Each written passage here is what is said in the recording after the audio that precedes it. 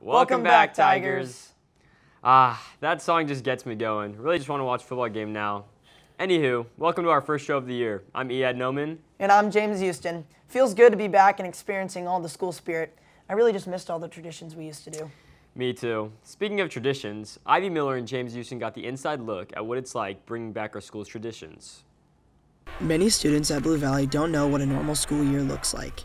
Students that have experienced a fully normal school year with all of our school traditions have been working hard to bring back a fully in person and vibrant culture that they have always known Blue Valley High School to be. Senior Sarah Walsh, student body treasurer, has experienced the Blue Valley traditions and understands the importance of them. I am so excited to be back and getting back to our traditions. Blue Valley is so rooted in traditions. I mean, when we were freshmen and we joined, we got, you know, like a whole day, really the first like three days, we learned all about the traditions that Blue Valley has. And so I was really excited to do that as a freshman. And now that was taken away, I think we value it a little bit more because I just think it's so important to the culture we have at Blue Valley. Senior Hadley Way is a new member of Tiger Pride and saw firsthand the role that Tiger Pride has in creating new traditions and bringing back old ones that were lost from our years online. Over the summer, we did a conference here at the school, and it was pretty much just we learned about um, like new traditions and like new ideas to like start some new traditions, which is where the senior sunrise came from. A sunrise like symbolizes like new beginnings and fresh starts, and I think that that's what this school year is going to be like, especially coming out of like a pandemic. Being on student council, Sarah Walsh fully acknowledges the involvement of this activity in all aspects, starting off the school year.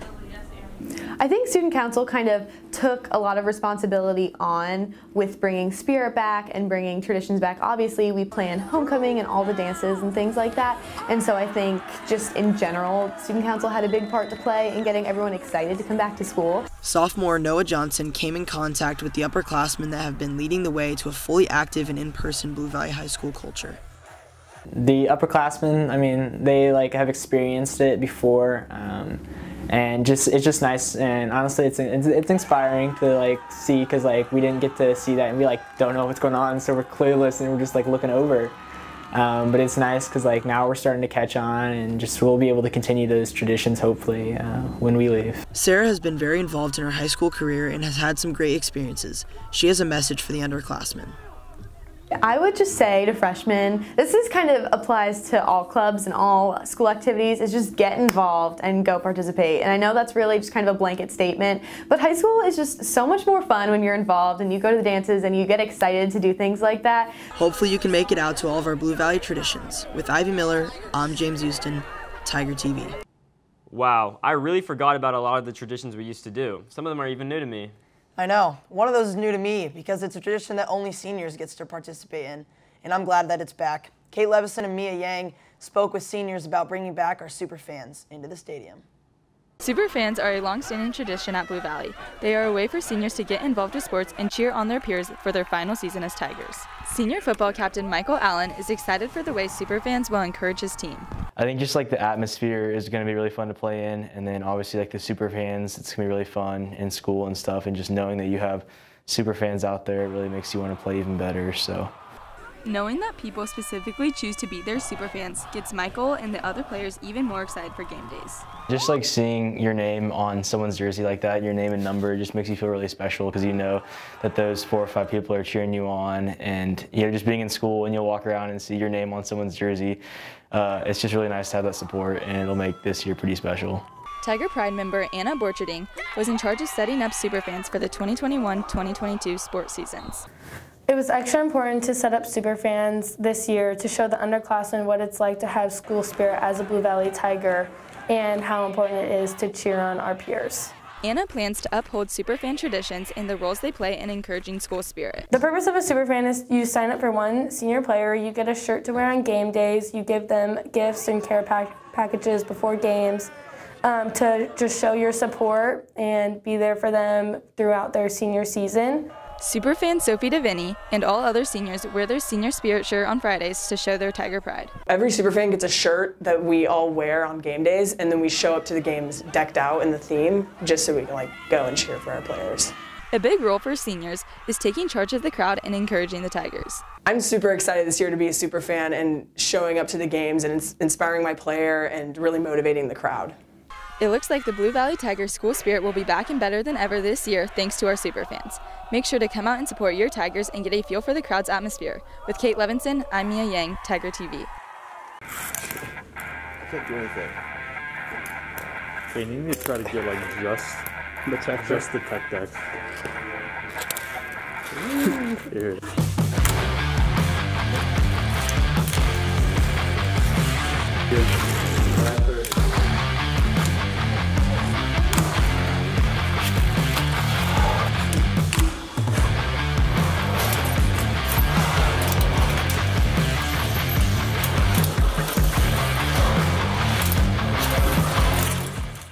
With Charlie Weinrich breaking the Kansas State field goal record at a 57 yard distance, we might have to get him something special, James. It's definitely in the works. Don't worry about it. There's definitely some new excitement in the building with all of our new staff members. Charlie Jones and Ryan Barbosa talked to our new athletic director about what it's like taking over the leadership of the athletic department. I love it. Uh, great people, great kids. Um, you know, it just seems like everybody's willing to work together, and and uh, so far it's been a great place to be. Mr. Van Reen is our first new administrator in eight years. After having Mr. Ortman as the athletic director for Blue Valley for so long, Mr. Van Reen has officially taken over the role and is looking to help the athletic department during his first year. The legend, Mr. Ortman. um, well, I mean, it's it, you never want to follow a legend, but in this case, I, I did, and um, um, you know, my my goal is to keep things as as smooth running as, as possible um, so that coaches really don't notice that there's been much of a change. Even though Mr. Van Reen has big shoes to fill, he looks forward to helping a successful athletic department become better than ever. So I just I remember working in other districts and um, you know just knowing the uh, the success and the expectation that Blue Valley has for not only athletics but for academics, and um, you know just the the reputation that they have for, uh, you know, kind of setting the standard in, in athletics. Mr. Van Reen is highly qualified for this new position, having served as Mill Valley's athletic director the past six years. Through that time, he has developed his own way of doing things and will look to implement his style to help the administrators and coaches continue a standard of excellence in our athletic programs. Um, you know, the message that I that I will I'll get from coaches uh, is that I'm I'm working with them. You know, they're they're not working for me. We are working together uh, to make the athletic program as, as good as we can make it, which, by the way, it's already pretty good. The Blue Valley Tiger family is so excited to welcome Mr. Van Reen to the administrative team, and we look forward to seeing what he brings to the Tiger community. With Charlie Jones, I'm Ryan Barbosa, Tiger TV. You know, I definitely miss Mr. Ortman, but Mr. Van Reen seems like the right man for the job. Yeah, I miss him too. He still visits the building, so if you see him around, say hi. Don't you just love being a part of a school that has the abilities to win state titles? Jake Holzinger and Drew Norris spoke at the baseball and golf on their state titles last year.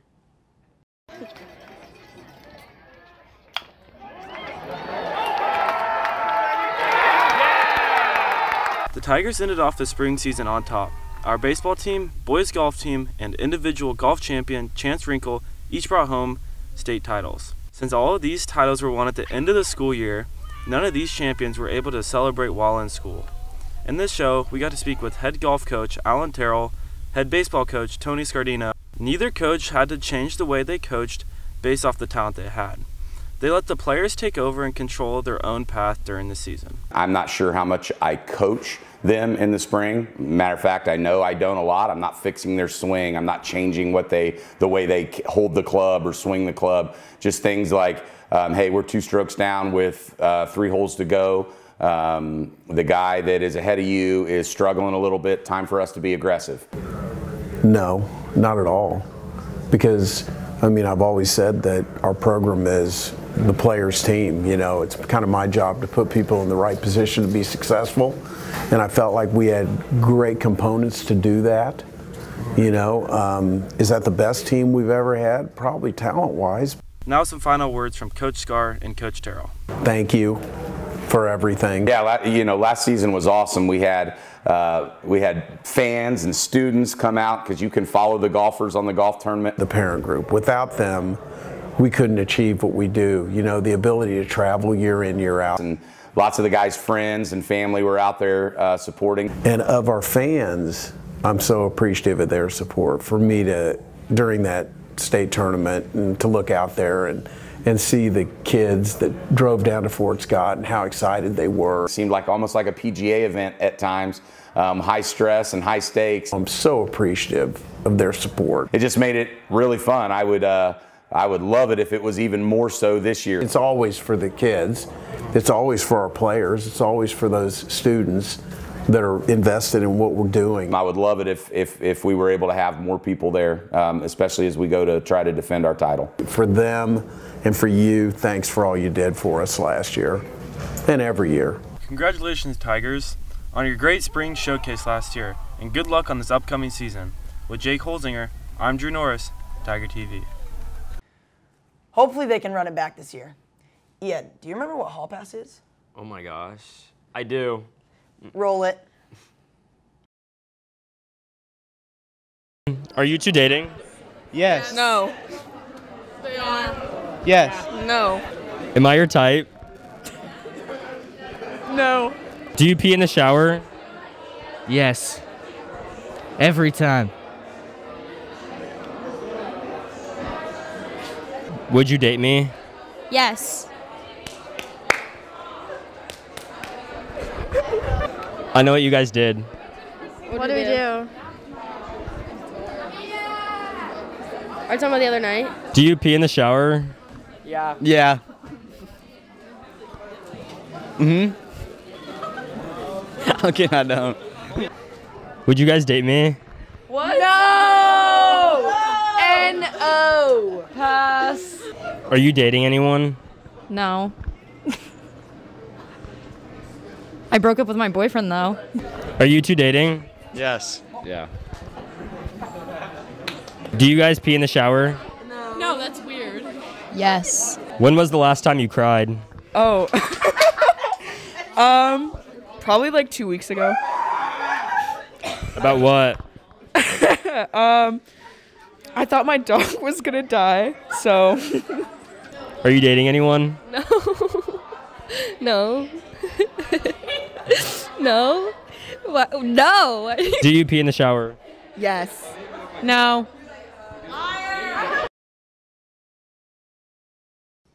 I definitely missed that from last year. I also miss all of the awards we used to hand out to students and teachers. Speaking of these awards, we have the results for our Teacher of the Month brought to you guys by Tiger Pride. Now, without further ado, Mr. Laptad, we'd love to announce you as our Teacher of the Month. Thank you for all of your hard work. Your students definitely see it, and you really deserve this. TikTok challenges aren't the only challenges going on in our school. Alexa Rinkmeyer and Chloe Imhoff spoke with School Store about the challenges they are facing this school year.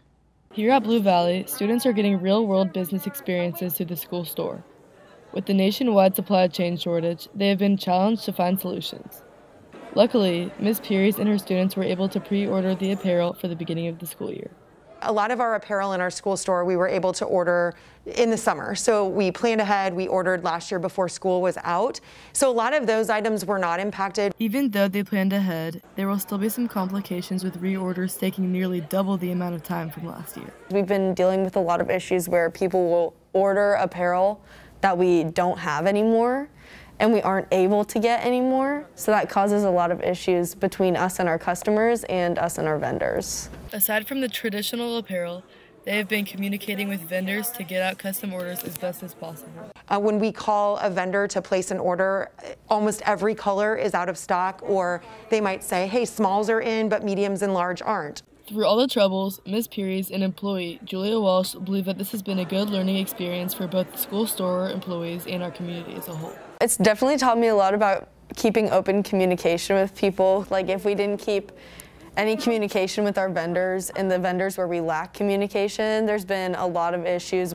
We're servicing not only our school here, but also Blue River Elementary. We do all of their spirit wear. And so it's been a challenge even like we can't offer the same brands to them that we did last year. And so it's not only been educating our school community on like, hey, here's a big shortage, but also working with our own clients essentially. The Blue Valley School Store employees are doing a great job getting orders to customers, even through all the complications that they have faced. This is Alexa Rinkemeyer with Chloe Imhoff, Tiger TV. That's some tough stuff, but shout out to all the school store workers for continuing to bring us the goods. Hey, Ian, do you know what Avid is? To be honest, not really.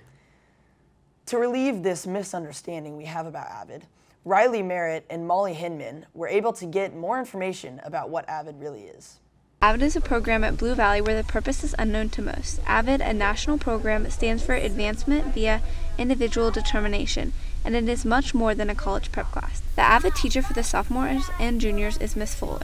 She is very passionate about helping these students achieve their academic goals and implementing a good family atmosphere into the classroom. AVID is a Oh, program they're gonna look that pretty. would be helpful to anyone who wants to be successful in high school and into college. I love Avid. I love everything about Avid.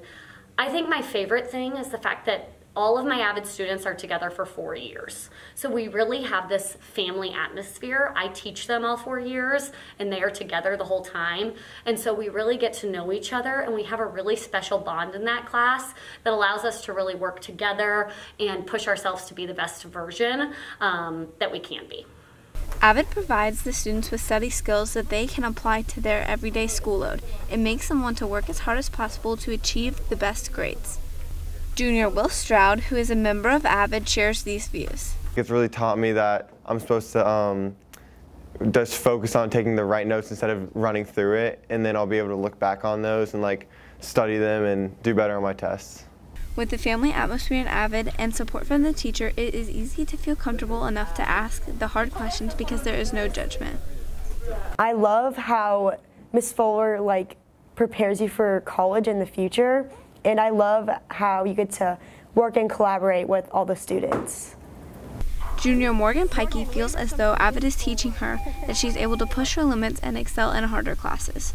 Avid is pretty important to me because every year your schedule has to have a rigorous class. So that means a class that you think will push you and that is harder, and you can see that you can do the hard classes, that you can do hard things. AVID, overall, though it may be misunderstood, it is a very helpful class for those who participate. So next time you hear someone talk about AVID, think about the work and dedication that is put into it by the students and the teachers involved. With Molly Hinman, I'm Riley Merritt with Tiger TV. That definitely wiped the fog off the mirror for me. Agreed. As probably all of you may know, last year wasn't exactly normal, or whatever that means. Ed and Caden talked to students about what the differences between online schooling and being in person really are. As you all know, last school year was unlike any school year any of us have experienced, with all the different types of learning modes forced upon us, such as virtual, hybrid, and in person. This made learning last year very unique and different for all of us, but some more than others. Seniors Kaylee Johnson and Marina Golden are two students out of many that chose to be fully virtual last year, and their experience not being in person changed a lot for them. I decided to go virtual because I really liked just the freedom of being able to choose when to like go to your Zooms and when to do your homework. Although Marina and Kaylee were in the same situation, they both had different experiences and feelings towards it.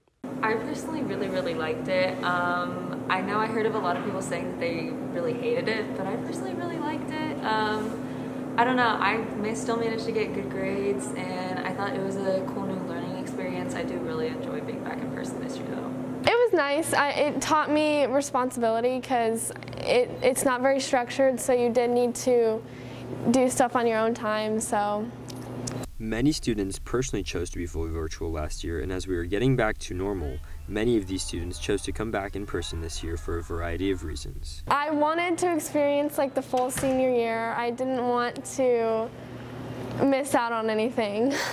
so I decided to do that because it's my senior year, and I really wanted to be more involved with the school. That's what I'm trying to do this year. So that's why I like I never have been involved with the school throughout like my other years of high school. So senior year I decided okay I'm gonna do it. So I'm more involved with the school now and I really enjoy it. As both learning modes have their pros and cons, being back in person this year definitely has more perks and brings more spirit back in our school.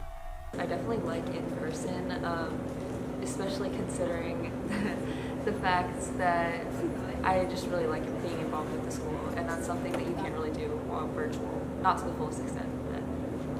After a strange school year for students like Marina and Kaylee, and for all of us as well, this year, being more normal than last, has brought an increase in spirit and involvement and brought our Tiger family closer. Tigers, please continue to become more involved and keep on raising the school spirit we know Blue Valley is known for, so we can make the most out of this year and make it a more normal school year for us all. With Caden Lamb Murdoch, I'm Eyad Noman, Tiger TV. This is another episode of Hall Pass. What is one question that you could ask someone? No. Why? Just isn't. It's just like milk. Uh, no. Why? Uh, it's cereal. It's just like its own category.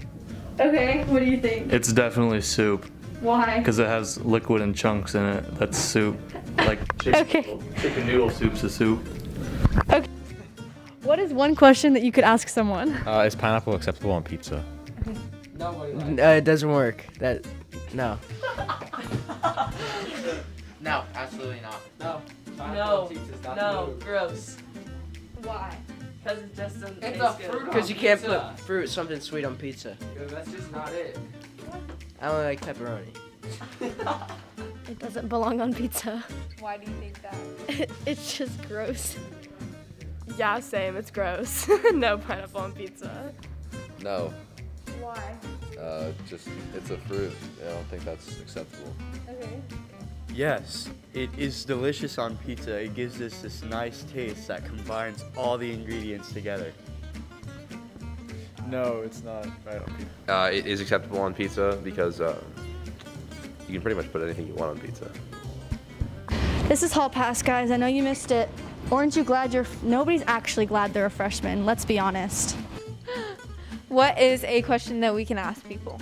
What is one thing that people look weird doing? Um, chasing a ping pong ball. Um, Rick and Morty. uh, sprinting to their car at when school ends. Um, when you're on a vacation and girls are taking pictures on the beach and you're like watching it happen, it's super cringe. Making TikToks in class. Filming TikToks. Probably like singing in your car while at like a stoplight.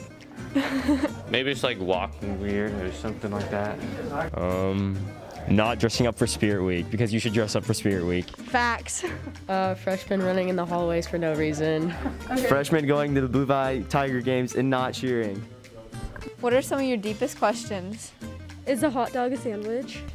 No. No. Why? Because, I don't know, because to me a sandwich is like a sandwich, not a, cir- a cylinder. Yeah, I agree. Um, I believe that a hot dog is absolutely a sandwich, as it is a piece of meat between two pieces of bread. Now let's check out a story about an issue that the teachers really don't have to deal with, but the students really do. Our parking lot. The ongoing parking lot situation in the junior and sophomore lots has been a problem for the last two years. We interviewed Officer Schmidt about the problem. There's a lot of construction going on, and we're managing it the best we can. And I feel we're getting a handle on it, and it's working itself out. He believes there is one solution to improving our parking problem. Just time and patience. Um, I think it's working itself out. We're picking up enforcement, and the students and staff are learning appropriate times to arrive in different locations where they can park easier, and it's making it um, much smoother. As of now, he is doing a few things to help make the situation better. We are patrolling before and after school, um, monitoring the parking, putting out announcements for the administrators to put out to let them know current parking situations and future projects that's going on around the property. Will and I believe that students can have the best ideas for this problem. Some students had ideas about a parking garage or even removing the freshman football field for more parking space, but Schmidt wasn't so sure about these ideas.